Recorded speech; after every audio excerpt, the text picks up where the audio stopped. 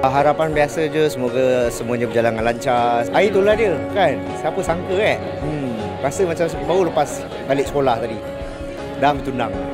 Alhamdulillah lah. Alhamdulillah. Ini semua kerja Allah kan. So, Sam uh, syukurlah Sam ikut je Apa je. Ah okey. Ready. InsyaAllah ready. Dia daripada 4 tahun lepas dah ready dah sebenarnya.